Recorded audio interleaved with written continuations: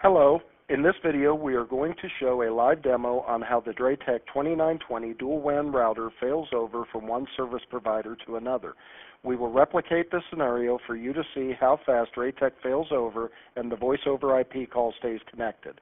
Draytek works extremely well in an asterisk environment as shown in this demo with Digium.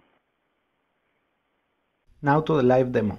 What we have here is a Draytech dual WAN router connected to two different service providers. The red cable is connecting to a cable-based service provider and the blue cable is connected to a DSL-based service provider. We also have an IP phone, it's a SIP IP phone. This is the new Digium D50 phone that is registering on an asterisk-based SIP server that is running on the internet. Let's place a call from the phone I'm gonna put the call on hold so we can hear the music on hold.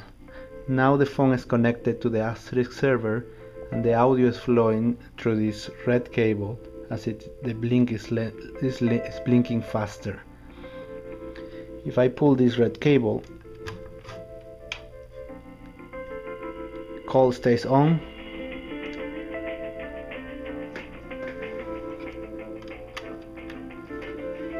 I put it back If I pull the second service provider, call stays on.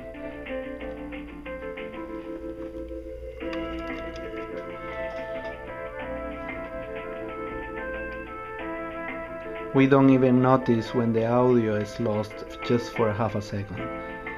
Now let's try again. Pull service provider 1.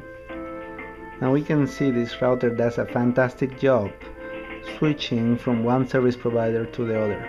Audio stays on and callers would not, would not notice the change. Put it back.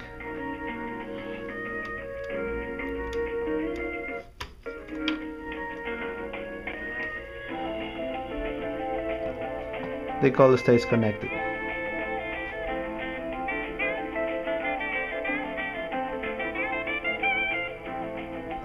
Now if I pull if I pull this cable, audio goes away, of course, because there is no service provider.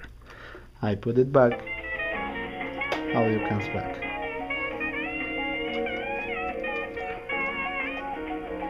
This is a very amazing feature on this router.